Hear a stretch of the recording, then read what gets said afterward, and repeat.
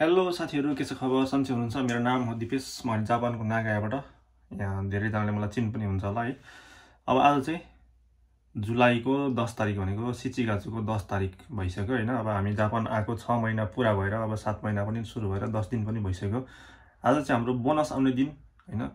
दस तारिकमा बोनस आउने भनेको छ। अब कति आउँछ बोनस? जापानमा हामीले जनवरीको हामी पाँच तारिकमा जापान आइपुगेको चार तारिकमा उडेर अनि त्यस पछाडि भनेको हामीले काम सुरु गरेको भनेको नौ तारिकदेखि हो। जनवरीको नौ तारिकदेखि हामीले अहिले छ महिनासम्म काम गरिसके पछाडि हामीले बोनस दिन्छु भनेको थियो।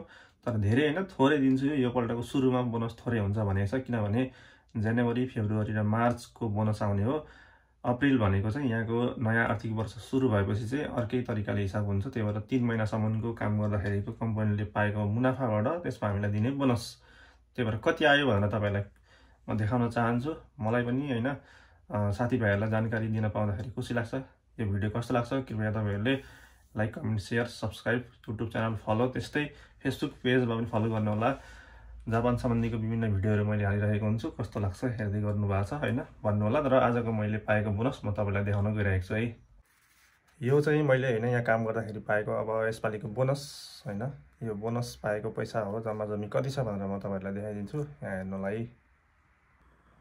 यो भनेको जापानको एक हजारको नोट है एक हजारको नोट हो।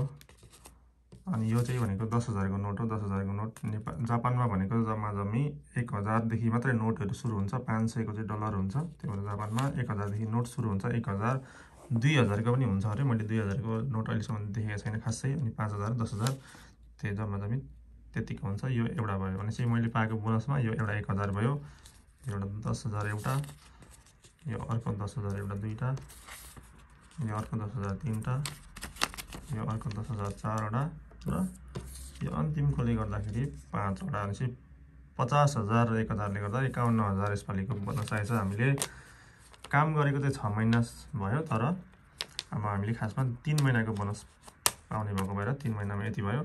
अब तिन महिनाको यति हुन्छ भनेदेखि तपाईँले यसलाई इन्टु चार गर्नुहोस् वर्षमा।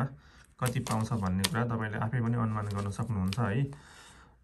अब अहिलेको लागि भनेको चाहिँ जम्मा जम्मी अब यति मात्रै छैन एकाउन्न हजार मात्रै बोनस भयो। हामीले अब जिउनी गाछु भन्छ होइन। डिसेम्बरमा चाहिँ लगभग दुई लाख जति हाम्रो बोनस हुन्छ। मेरो जापानको स्यालेरी भनेको चाहिँ एक लाख चौरासी हजार लगभग छ।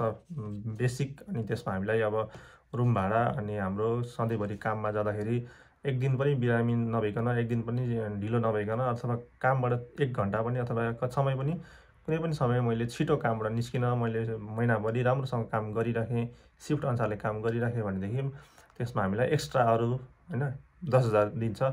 अनि सरकारको तर्फबाट पनि हामीलाई एउटा दस हजार दिन्छ त्यस्तैबाट आउँछ। अब ट्याक्स ट्याक्स काटेर आउँदाखेरि भनेको जान्छु दुई लाख रुपियाँ जति आउँछ। तर यो बोनस भनेको चाहिँ हाम्रो अब त्योदेखि बाहेकको हो। अब अहिले भनेको छ महिना भयो तर हामीले तिन महिनाको बोनस तर हामीले डिसेम्बरमा चाहिँ दुई लाख जति स्यालेरी पाउँछौँ। त्यही भएर यदि कोही एसएसडब्लु भिजामा जापान आउनु हुँदैछ भनेदेखि चाहिँ उहाँहरूको लागि चाहिँ अब एकदमै राम्रो पनि छ। म नर्सिङ केयर गिभरमा आएको कारणले गर्दाखेरि चाहिँ नर्सिङ केयर गिभर सम्बन्धीको कुराहरू म सेयर गरिरहेको हुन्छु धेरै जसो। अरू पनि कुराहरू म सेयर गरिरहेको हुन्छु। यो आजको भिडियो कस्तो लाग्यो? यदि कसैले जापानमा बसेर बोनस पाउनु भएको छ भनेदेखि चाहिँ कति पाउनु भयो होला? कमेन्ट गर्नलाई है त।